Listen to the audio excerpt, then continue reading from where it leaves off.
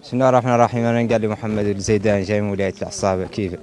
معايا جماعة من القراء قبضنا خمس ملايين والسيارة مدة شهر ب 35 ألف تحسب علينا يوميا.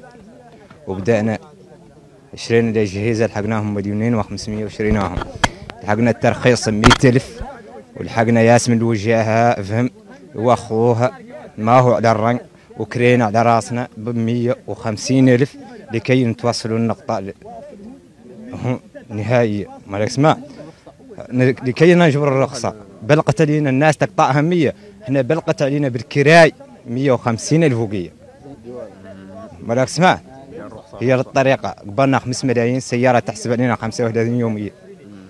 فاتوا منها 10 أيام تحسب علينا في الواكشوب وصلنا اليوم من نهارين. ما عرفنا جبرنا شيء. إحنا خارجين 5 ملايين و500 اليوم ما تات عندي منهم. ما هو نشبت 100 الفوقية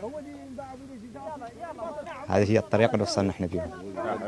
ما ذهب ما جبرنا منه شيء ولا شفت له قمنا. عندك أمل سابق تجيهم شنو شنو كانت نسبة الأمل عندك تتورط أنا ما كنت شاكن الدولة ق- ما كنت شاك أنا جيت بفكرة إن شاكن الدولة ها؟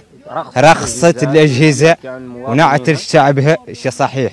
لأن عود ما هو شيء صحيح. يلا تتحد الأبواب عنه امل كان عندي كبير ما كنت شاكن يا أخي. ما يخالك فقدت كنت شاكر رئيس يلا تقبل يقبل اعتبار شعبه ولين يعود ما هون موجود شيء. كيف؟ ولا يعطي الترخيص. ولا يعطي الشيء ما لك سمعت؟ إحنا يعني ما نعرف ما عندنا الاجهزه اللي تنقل ولا عندنا شيء. ما لك سمعت؟ يا قاري كيف الخسارة عنا الجزء المسموح لنا بها قاعد. ما تفهم عاد شيء.